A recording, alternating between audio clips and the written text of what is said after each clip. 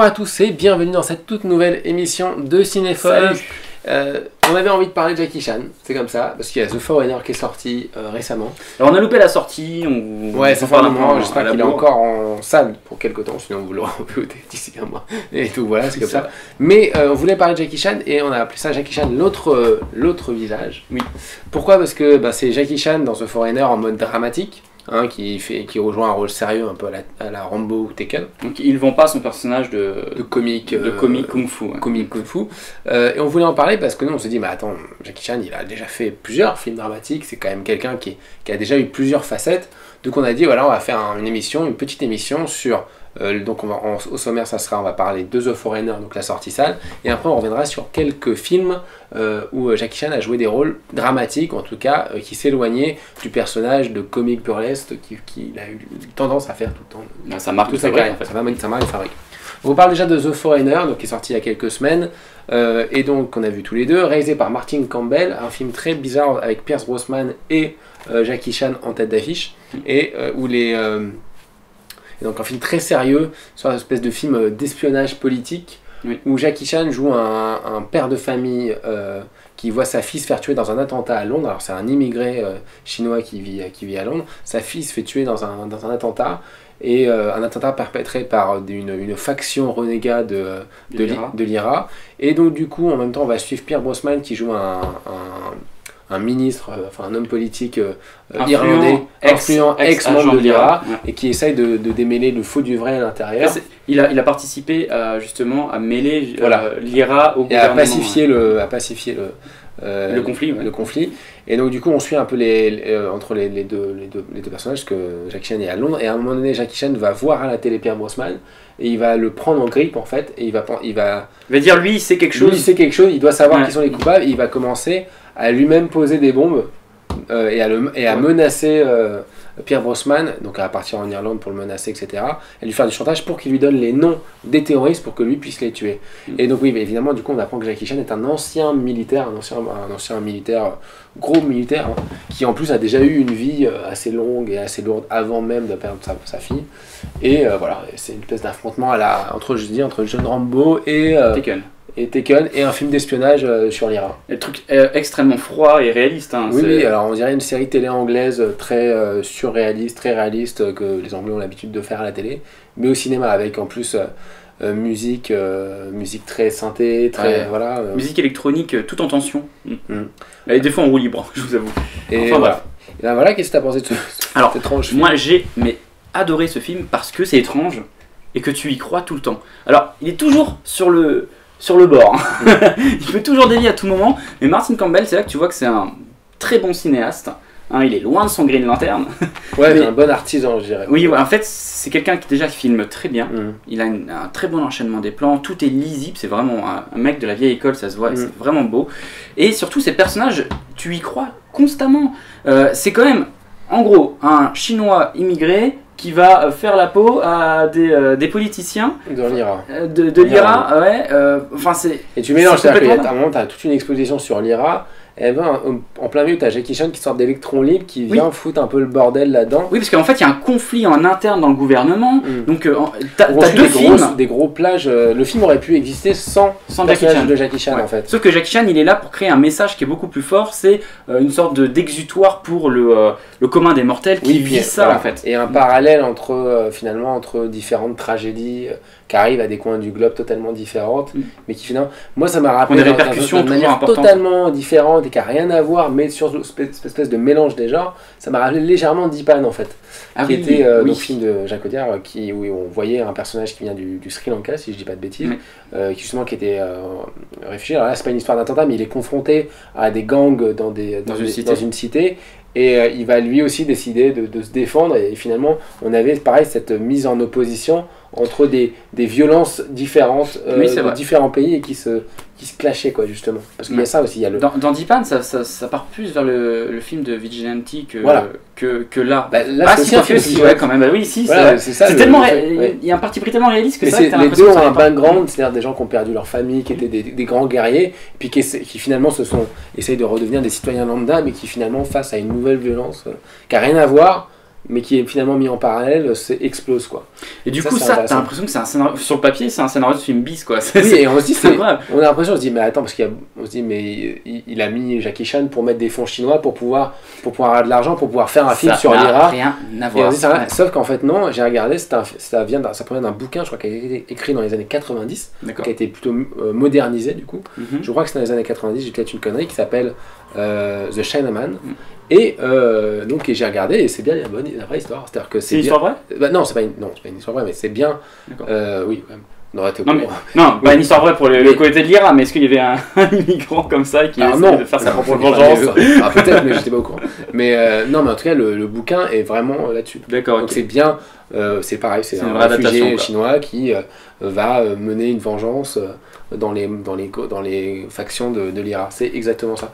Donc du coup, c'est pas si... euh, ça paraît fou quand tu vois le, quand tu vois le projet, on a l'impression que ça a été écrit pour Jackie Chan pour qu'il s'adapte au, Ouais, mais au réalisé tournage anglais. avec un purée, un très bon artisan et avec des acteurs où tu y crois à 400% parce que Jackie Chan il est vraiment très bon dans son rôle dramatique. Et mais c'est pas l'acteur le plus important Ouais. du film en fait. Pierce Brosnan, je pense qu'il a, euh, je crois qu'il il a son rôle quoi. C'est son rôle. Alors, pour moi, si tu enlèves les James Bond qui sont, qui sont euh, variables, c'est peut-être son meilleur rôle. Oui. euh, son meilleur rôle. J'ai Euh, pas tout vu de lui, mais c'est- mais de ce que j'ai vu, C'est très, fort. Je, je l'ai trouvé très impressionnant. Je me suis Ouais. dit, il devrait, il devrait continuer dans ce registre dramatique là parce qu'il le, il le gère très bien. Et, euh, et là, Ouais. tu le sens impliqué. En plus, c'est marrant parce que c'est Martin Campbell, c'est le mec qui l'a fait tourner dans les James Bond, mais euh, enfin dans le premier Dans James GoldenEye. Bond, dans GoldenEye, et euh, et c'est non non, il le fait super bien. Et en fait, chaque personnage, parce que croire que c'est un film juste avec Jackie Chan et Pierre Brosnan est faux. C'est-à-dire que c'est vraiment un film d'espionnage choral où vous allez avoir euh, euh, la vie des terroristes, la vie des espions, la vie des la femme du chef de l'homme politique, etc. Et vous avez Tout, plein tout de va s'entreconnecter Voilà. en fait. Et c'est juste Jackie Chan qui fait tout pour rentrer dans cette toile. Voilà, mais qui, est- qui a l'air absolument pas possible à rentrer quoi. Et du coup, il y a un côté un peu jeune Rambo dans le dans le, Mm. dans le dé- enfin Rambo plutôt First Blood dans le, dans le délire puisque euh, il y a ce côté survival dans la forêt où, où d'un coup Jackie Chan euh, et il doit se démerder avec ce qu'il a, il pose des pièges, etc. Enfin ça, en soi ça, ça aurait pu faire un film entier, Ouais. sauf que c'est juste 20 minutes du film finalement. C'est un arc. Mais euh, c'est un- arc du film peut-être un peu plus long, mais du coup c'est juste une partie. Et ce qui est intéressant, c'est que Jackie Chan, qui assume lui-même qu'il peut plus faire les cascades qu'il faisait avant, même, ce qui, même que malgré tout ce qu'il fait là, dans le film, bien euh, et, pouvoir et- faire ça. déjà excellent. Enfin, genre, t'es déjà, tu te dis, bah mec, faire- Quand il saute faire sur le à 60 poteau, ans, euh, ouais. ouais, ça- non. Oui, mais bon, il fait moins de trucs fous qu'avant, quoi. Il Oui. peut plus le faire forcément. Oui, mais bon, déjà pour un film d'espionnage, c'est le côté un peu exotique, c'est qu'il y a Oui, quand même de la cascade. du coup, il fait le Pas choix beaucoup, de, hein, de chorégraphier différemment ses, Oui. ses combats. Et, euh, mais il y a quand même une grosse scène de fin euh, de, de fight, hein, comme dans tous les Jackie Chan finalement, qui là est entre euh, trois personnages. euh. Oui, mais c'est pas, c'est pas une scène de, de fight chorégraphiée euh, chorégraphiée. avec. Oui, non, oui, c'est tout- toute scène de fight est chorégraphiée, mais pas avec la classe d'un- combat classique. Là, on est quand même dans quelque chose de, C'est entre les deux. C'est-à-dire de- qu'on a- on de entre. beaucoup plus GI, tu vois. C'est comme si Jackie Chan avait repris à sa sauce Jason Bourne en fait. Oui, voilà, exactement. Et c'est très étrange, c'est-à-dire qu'en gros, et c'est c'est fascinant parce que bon, on a oublié de dire, mais bon, je pense que vous le savez si vous regardez l'émission, que Jackie Chan est un immense chorégraphe, en plus d'être un très grand réalisateur, et en plus un très grand acteur d'action, etc. Mais c'est un très grand chorégraphe, c'est-à-dire qu'il a des idées de fou, etc. Et donc il a travaillé la chorégraphie de manière totalement folle. C'est comme un chorégraphe de danse, quoi. Le mec a, a fait. Enfin d'ailleurs, il, il vient aussi de ça, de Et là. sa patte, c'est d'utiliser les objets, euh, voilà. les Et, et, accessoires. bah, il, il utilise les objets, les accessoires Voilà. et- dans le truc. Juste qu'il le fait de manière un peu plus réaliste, c'est-à-dire qu'il y a ce côté très sec, très rapide que vous avez dans les Jason Bourne qui sont les techniques de combat que sont censés avoir les commandos, les paras, des trucs très vite pour euh, éliminer l'adversaire. euh. Oui, ça fait. Voilà. il se rapproche plus d'un Krav Maga, c'est le, le- le combat de rap- Voilà. rapprocher direct. Je pense qu'il a dû étudier ça, mais en même temps, il quand même, continue à avoir ses idées à la Jackie Chan, c'est-à-dire que bon voilà, il y a un appartement, il est attaqué par trois mecs, il va monter quelque il va- part, ouais. euh, il va utiliser une table, il va utiliser un truc, etc. Mais pas d'une manière, Bah, euh, il- pas d'une manière faut, euh, il comique. faut aussi quoi. un peu justifier pourquoi il est chinois. Alors, c'est- pas raciste quand je dis ça, mais c'est vrai qu'ils ont le kung fu dans le sang, d'accord? Et c'est un personnage qui a vécu avec le kung fu. Alors, euh, du coup, j'ai pas été jusqu'à me faire des recherches là, mais est-ce à savoir euh, comment se battaient euh, le- les commandos dans lesquels il est censé venir dans le truc, ouais. Dans tous les cas, il apporte ce, ce côté, ce petit plus Hmm. qui fait que tu n'as pas l'habitude de voir ce système de combat dans un film comme Oui, ça. mais façon, j'aurais été déçu de voir Jackie Chan faire du Tekken pur. Voilà, exactement. Des, faire des clés de bras. Ce qui est intéressant, c'est qu'il fait des clés de bras, mais avec des idées en plus qui rendent le, qui rendent le truc super étonnant et qu'il n'a jamais fait. Et d'ailleurs, tu te dis, bah, Jackie Chan, il pourrait largement avoir une nouvelle carrière. Enfin, même si euh, je, le film est vendu comme étant une sorte de Tekken par Jackie Chan, quoi. Genre, Jackie Chan pourrait avoir une carrière à la Tekken comme ça. J'espère pas. Mais, euh, mais c'est-à-dire faire des films sérieux, de polar urbain. En tout cas, dedans, il est il troublant, peut le faire. très beau. Euh, le mec, quand, quand il est tout larmoyant, un, un peu échymosé de partout, enfin, tu y crois largement. Enfin, c'est vraiment magnifique. Et c'est pour ça qu'on voulait faire cette émission, c'est pour euh, vraiment expliquer que Jackie Chan, bon, c'est un des acteurs les plus, euh, les plus mondialement connus, les plus payés. Enfin, euh, c'est pas quelqu'un à plaindre, hein, mais c'est vrai que la tendance, c'est euh, oui, Jackie Chan, c'est la bouffonnerie avec des, des- des petits arts martiaux. Et puis Oui, voilà. c'est Charlie Chaplin qui fait des arts martiaux. Alors que Alors il que a un ça, potentiel incroyable. c'est- ce qu'il fait là-dessus est euh, formidable et c'est déjà euh, immense. Mais il a déjà fait des films dramatiques Oui. par le passé. Oui, il a déjà fait des films dramatiques. Et ça, c'est- je, alors ça n'a rien vraiment à voir, mais euh, tu vois euh, Jim Carrey, quand il fait Truman Show, c'était exactement le même délire. C'était que Jim Carrey, qui était associé à cette bouffonnerie, mais lui c'était l'absurde à fond, te fait un Truman Show. Euh, Milos Forman, c'est ça qui avait fait Oui. ça? Euh, Voilà, qui est... Non, ton machin dans Sandro Nichols. Ah, Mais- pardon, oui. et, Ou Matt Ni- Matt Nichols, je sais plus. C'est un Nichols quoi. ouais, d'accord. Euh, Milos Forman, c'était... Euh, Man C'était euh, Man Man Moon. ok. Qui est Enfin aussi bref, sérieux. qui est aussi sérieux, ouais. Il essaie de casser cette image et ça marche, hein. tu Mm. sens que le mec il a quand même un, un- un champ d'action assez intéressant. Bon, après, tu peux aller moins loin. Tu peux dire que c'est. euh, nous, on dit toujours faire le Ciao Pantin euh, Oui. avec Coluche, etc. Oui, mais voilà. Et, euh, et, euh, mais sauf qu'en fait, Jackie Chan, elle n'a pas eu de besoin de faire le Ciao Pantin, même si, effectivement, il est vrai que Jackie Chan a toujours eu un, un dilemme dans sa carrière. Alors, Jackie Chan est révélé notamment par quelqu'un qui s'appelle Willy Chan, qui est son agent, qui le fait venir à la Golden Harvest par rapport à la Show Brothers, donc les grosses majors chinoises. Parce qu'il a commencé dans la show Bros. Voilà, était la, la grosse major de l'époque, il est passé à Golden Harvest, qui, est devenu, qui était la boîte qui, qui avait fait, notamment fait la carrière de Bruce Lee, notamment, etc. Bruce Lee qui avait un peu cassé tous les films de, Jack- Voilà. de, de la show De la Show Brothers. Brothers, Il avait renouvelé le genre en fait. Et, euh, et en fait, euh, quand il fait venir. euh, Enfin, Willy Chan va être son agent et il va essayer de modeler la carrière de, de Jackie Chan. C'est-à-dire que Jackie Chan, dans les films qu'il va réaliser ou dans lesquels il va tourner, il va toujours avoir envie de partir vers le drame, mais jamais vraiment pour le, euh, pouvoir le faire entièrement par peur de pas plaire à un certain public qui l'attendait. Il faut Mm. savoir que Jackie Chan, au sommet de sa carrière 80-90, il est admiré dans tout Hong Kong et dans tout le Japon aussi. Il, est- il avait des fans de malades dans le Japon. Le Japon, mais il, il payait même les, les stock shots de ses films pour pouvoir les mettre à la fin en plus. Il y a des, c'est pour ça que vous avez des versions longues du Japon à, la Ta- à, à Taïwan qui sont différents selon les, selon les trucs, enfin selon les films. Parce que justement, chacun se faisait sa sauce par avant. C'était une immense star. Il avait un contrat avec crois, Suzuki. euh, voilà. Enfin, c'était un mélange de, de, tout- de plusieurs coins de l'Asie. euh, voilà. C'est comme Ça le a mec qui va, qui te chanter euh, au JO donc, euh, de Pékin. Ah, mais ça, c'est différent. Après, il a été, on va dire, Après, il y a, il est redevenu- la rétrocession, tout il ça. est il a- devenu une icône de, de la nouvelle Chine euh, et Oui, enfin- un autre chose. Mais, mais même avant ça, je veux dire, Ce, au- ce mec-là, il a une aura Oui. qui est. Ce que je veux dire, c'était au niveau des années 80-90, Importante. c'était une icône tellement importante et aussi qui faisait des. Il a eu un dessin animé, etc. jeux vidéo, blablabla. vrai, il y a des Que- animations. Que, que, du coup, c'était une marque. À bout d'un moment, c'était comme Charlie Chaplin, on l'appelait Jackie euh, dans ses films, même quand c'était pas Jackie, on le redoublait. Et c'était Jackie Chan fait le ménage, Jackie Chan euh, va, à Walt Disney, il n'y avait que ça. Et donc, du coup, euh, bah, du coup il pouvait pas euh, casser son image pour faire, pour faire des films dramatiques. Même s'il avait toujours eu envie, et notamment c'était Willy Chan, son agent, qui l'empêchait.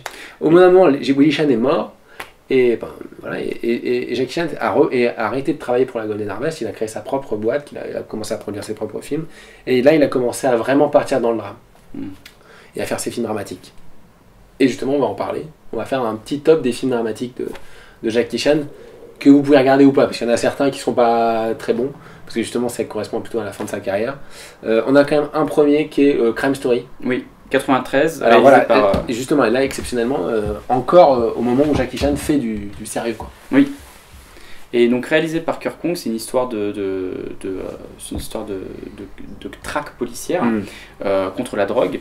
Et, euh, et c'est vraiment un film très âpre, très dur. Mm. Euh, dedans, tu t'attends pas à voir du Jackie Chan qui, qui va te balancer une blagounette ou alors qui va te faire une, une galipette.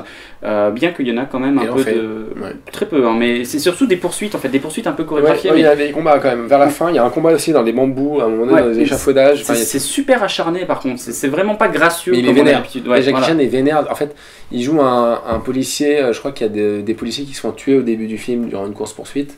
Et du coup, euh, ils sont à la poursuite des, des mecs qui ont fait ça, quoi. Et en plus, euh, il y a une opposition entre lui et un autre flic ripou, Mm. qui est vraiment une saloperie, quoi. Et qui, du coup, le, euh, fait tout pour, pour, le, pour mettre Jackie Chan dans un piège, etc. Et c'est une opposition entre ces deux mecs-là. Et le film, il est âpre, il est dur, il est à hauteur d'homme. Et Jackie Chan est vénère pendant tout le film parce qu'il veut se venger de la mort de, des, collègues. des collègues. Je crois que c'est des collègues policiers, je dis pas de bêtises, je crois que c'est des collègues policiers. Plus. Et euh, en tout cas, il, veut, il y a une histoire de vengeance. Et il y a une, il y a une scène d'interrogatoire qui est, qui est assez marquante Oui, où euh, Jackie Chan mais défonce le mec, mais genre en fait, alors à la Jackie Chan, c'est-à-dire qu'il fait des pirouettes justement, mais il lui explose, il, il explose sur une, c'est une sorte d'open space immense, euh, le, le bureau de flic là, et il, le- il, lui fait un gros coup de pied, qui est le mec euh, s'écroule sur une table, il le reprend, il lui refait un gros coup de pied, donc c'est très chorégraphié. Encore une fois, il utilise le matériel, enfin le, tous les accessoires autour de lui, ce qui fait le, le décor, les accessoires, mais pour faire une scène super dure où le mec tord, enfin euh, Et tu prends pas, tu prends pas le plaisir mec, quoi. à voir cette séquence euh, d'action. Non, il est tendu, tendu. Tout en euh, sachant que c'est l'époque où il y a vraiment un, d'intérêt en- à Hong Kong de- sur les films de flics. Les films de flics, il y en a un peu partout. Il y a tout un rapport avec la rétrocession, effectivement, aussi. Je me rappelle qu'il y a une scène de fin qui se passe dans. Euh, Eh. un voyage- oui, comme beaucoup de films de À partir de la nouvelle vague des Ouais. début des années 80, tout le- tous les films y, a une- il y a une scène de fin où justement où il doit, où passer la frontière, faire passer la frontière à des gens, etc. Tu sais que j'avais la Chine et Hong Kong. Quand j'étais en fac de cinéma, j'avais fait un dossier, j'avais parlé de ce film pour parler de la rétrocession. Ouais, C'était euh, mon, mon tu- sujet, raison, effectivement. pas- Et en fait, le film était destiné à Jet Li à la base. Ah ouais? Oui. D'accord. Et il est, et- mais finalement, il est parti faire, je crois, Taichi Master. Ok. d'accord. Euh, et finalement, c'est euh, euh, Jackie Chan qui l'a pris. Donc c'est pour ça qu'il y a eu un. Parce qu'effectivement, ça se voit d'ailleurs, le film, tu imagines totalement Jet Li faire ce film. Oui. Et en fait, c'était parce que c'était prévu pour lui. En fait, c'était vraiment lui qui était pressenti pour faire ce film et il a, il a été passé par Jackie Chan. Mais ça, ça, ça rend un film totalement fou et un vrai film, un vrai polar urbain très dur avec Jackie Chan. Bah, ça fait plaisir à l'époque de voir un film comme ça parce que tu as l'habitude de voir euh, les zygomatiques de, Mm. de Jackie Chan se déployer tout le temps et là euh, c'est ce que moi je me rappelle quand je l'avais vu j'étais très jeune et je voulais voir du Jackie Chan Mm. et j'ai vu autre chose ça m'a paru très bizarre c'était très perturbant Mm. Et du coup, on a, après, on a Force Mission aussi. Oui. Euh, qui, euh, alors, qui est pas. alors, en fait, c'est un peu entre les deux celui-là, et nous, on, enfin, on a décidé de le mettre là-dedans.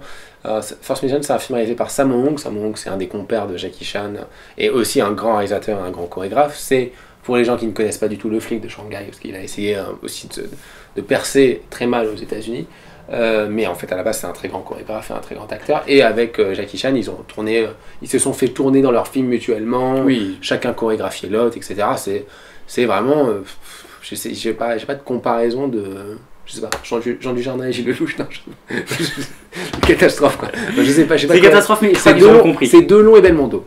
Voilà. Bien. non Si. non parce que non c'est pas les potes qui jouent tout le temps ensemble là c'est vraiment euh, Oui, c'est vrai. si vrai le louche du jardin en- En bien. là Enfin, oui non, en- en différent Mais, mais non, dis, enfin, avec des casquettes. Bon, en gros, euh, Samon est quelqu'un de très très connu, et c'est vrai que là, il va euh, faire l'histoire de deux frères. Mm. Il y en a un qui est, euh, alors c'est, je sais plus, c'est une déficience mentale, mais je sais plus ce qu'il a. Oui, il est handicapé mental.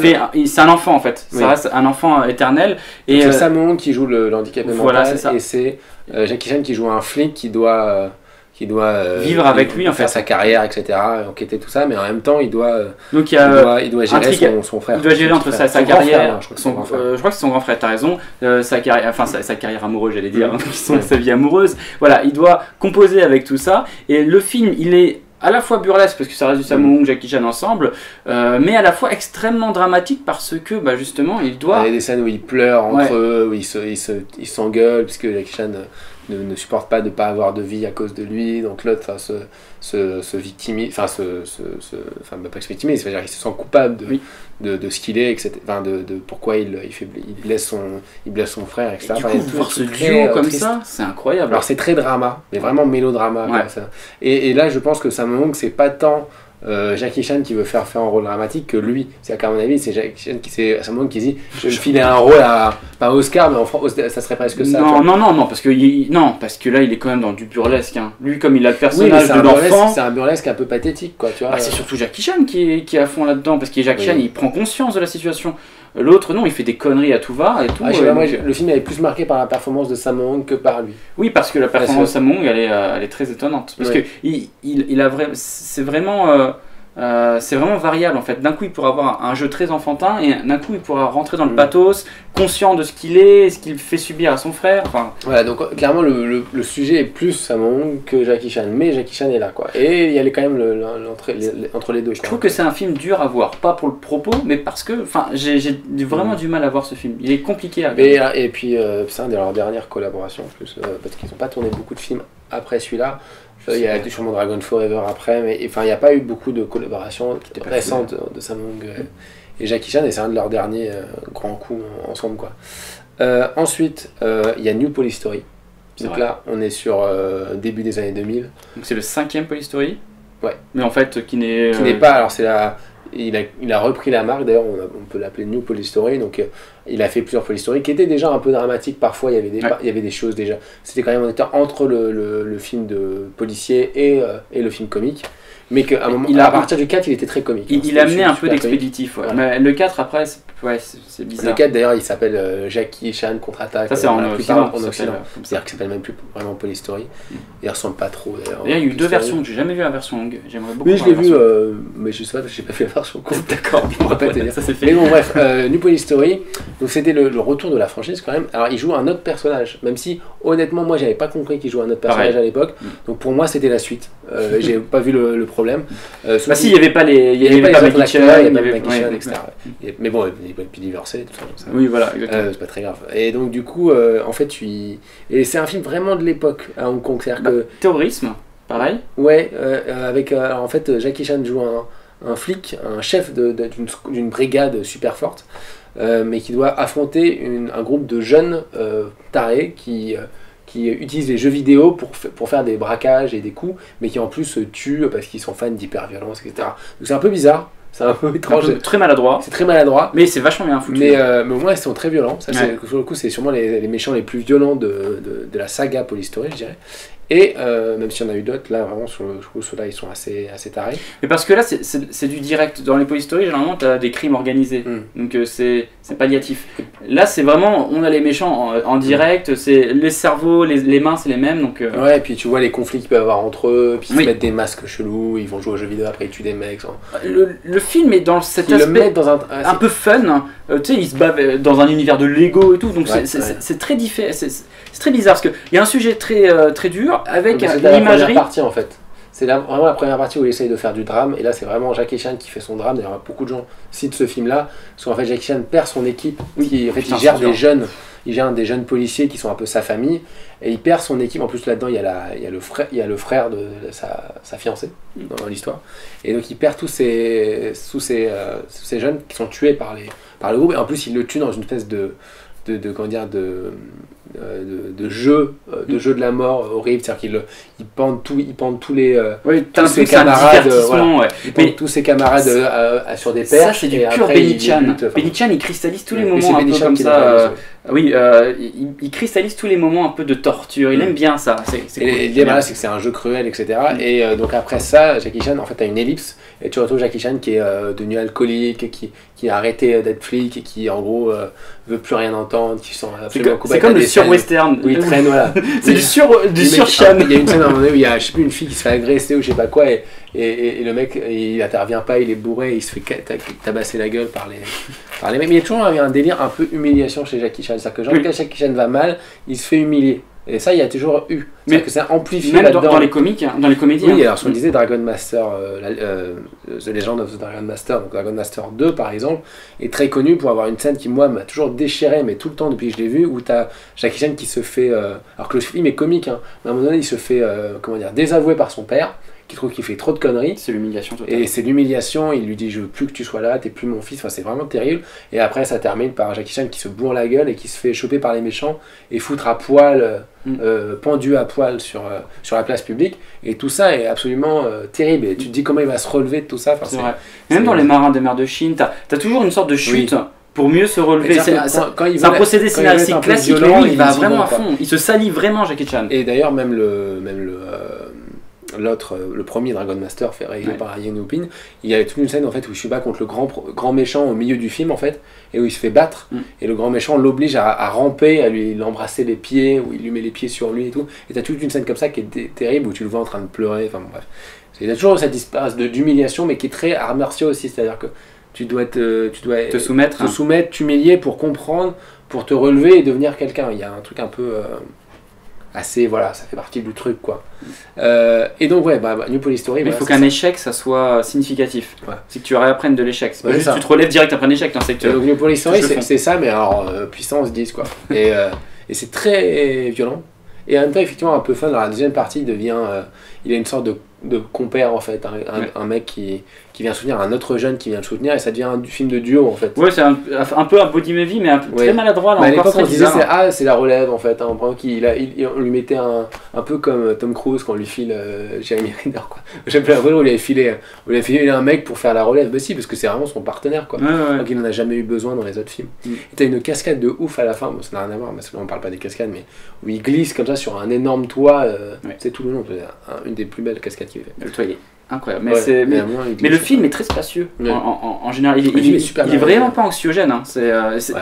Il est fun à Et à regarder. l'époque, tu est ça lancer, mais 5 nouveaux n- Polystory, en fait non. Mm. Il y en a eu un qui a été fait en 2015, qui s'appelle aussi New Polystory, où là il joue encore un nouveau personnage. en 2013. 2013, pardon.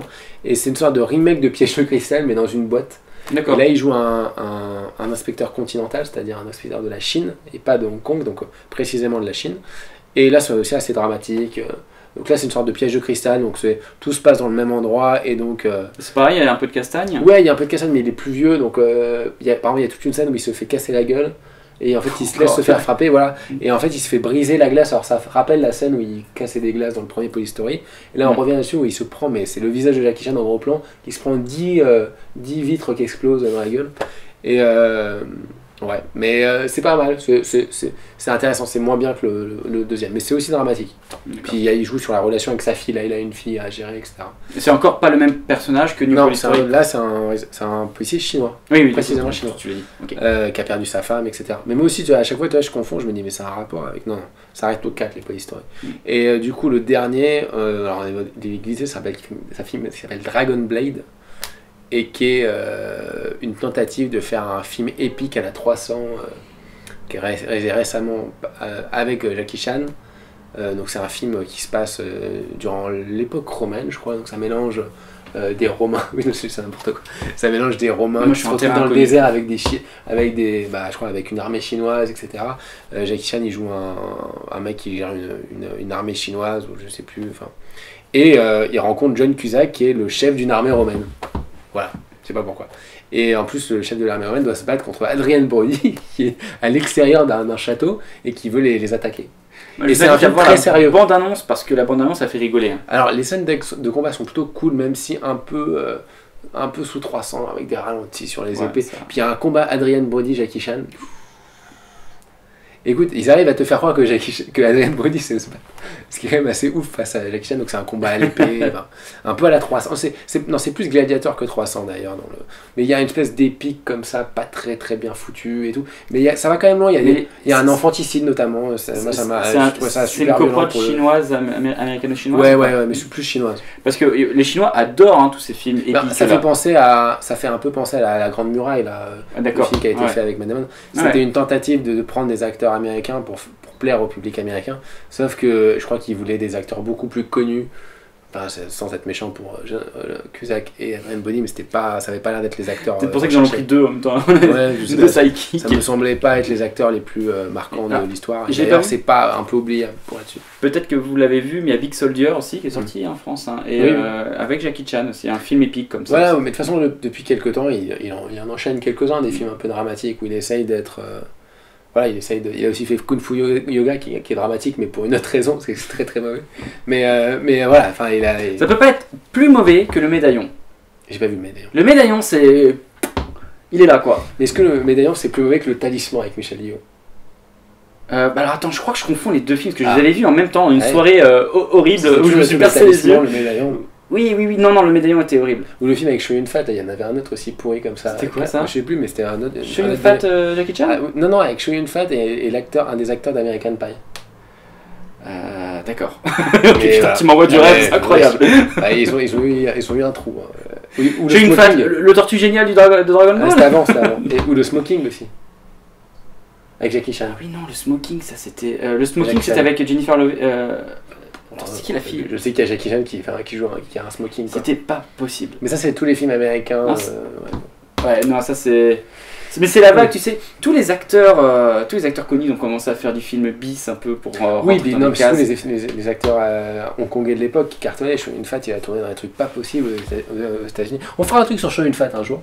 Parce que c'est un acteur fascinant qui est génial, mais alors, euh, putain, quand Ah, les t'arrives à choix de carrière, c'est américaine, incroyable. c'est catastrophique. généralement, les, les, euh, les Chinois, quand ils viennent aux États-Unis, ils n'y arrivent pas. Enfin, c'est- il y a que Jackie Chan qui a réussi parce il a que. réussi, il a mis du temps, il a été il est venu deux fois Mais déjà. parce que ça a été Et, une euh, marque, ouais. Jackie Chan, tu vois. Mais euh, tous les autres, ils- même les réalisateurs, ils Mm. arrivent et c'est pas pour faire des, des films incroyables. Il y a eu qui d'autre comme acteur euh, hongkongais qui a essayé de percer Bah, il y a eu Michel Yeo. Michel a Yeoh, là, Une carrière à peu près correcte. et là récemment, qui a fait le premier épisode de Star Trek. Ouais, mais bon, maintenant elle fait un peu des rôles euh, comme ça sur le côté, quoi. T'as un peu l'impression qu'elle a. Michel Mais, Yeoh euh, a, une- a une belle aura, elle aussi, par contre. Oui. Euh, C'est pas trop terni encore. mais je crois que euh, Tigre et Dragon l'a l'a mis ici donc, pour le public occidental. arrive à peu près à s'en sortir, même s'il tourne dans des trucs genre triple X et tout, 2 ou 3, là, je sais plus. Ouais, Donnie- Mais- tu, tu l'as vu dans Star Wars. Mais c'est parce que euh, déjà. Star Wars? Oui, dans Rogue One. Ah oui, oui, c'est vrai. Tu, euh. T'as une sorte de quota, euh, quota asiatique maintenant. Et de- de- L'autre versant, c'est que dans Ip Man, tu as Mike Tyson qui arrive, tu vois, par exemple. Oui. Dans le 3, bon. Voilà, bon, en tout cas, Ça se euh, mélange je bien crois que c'est ce tout. Pour... Après, il y a eu 1900 avec Jackie Chan, mais là, on n'est pas sur des films de combat, c'est pas vraiment Jackie Chan dont on parle là. Donc voilà. En tout cas, si vous pouvez voir The Foreigner, allez-y. Parce que Ouais, ça, marche bien, c'est excellent encore, ça, allez-y. Et donc, comme on dit. Crime Story, et surtout le premier New Police Story, Oui. euh, en termes de film sérieux qui montre l'autre facette de Jackie Chan. Mm. Je pense que ça vaut le coup. C'est vrai. Voilà. C'est bon Ouais, Tu dire Non, sur j'ai- Jackie Chan, la, série, la dessin animé peut-être Le, le dessin animé, je regardais quand j'étais gosse, j'ai pas regardé depuis, mais c'est vrai que Ouais. je prenais plaisir. Mais comme c'est un dessin animé euh, qui n'a pas la- le dynamisme qu'aurait dû avoir un Mm. truc de, kung- de kung-fu comme ça, Je euh, préfère le voir faire des choses en vrai qu'en dessin animé. en fait c'est carrément mieux en vrai. Bah oui. Et c'est rare de dire que de l'action Bah en oui. vrai est mieux qu'en animé. Ouais. Non mais il y avait, euh, c'était sympathique le dessin animé. Bon, allez, on va dire à bientôt et n'hésitez pas à nous dire d'autres films qu'on a ratés, peut-être de Jackie Chan, euh, qui joue Salut à tous sérieusement. Salut.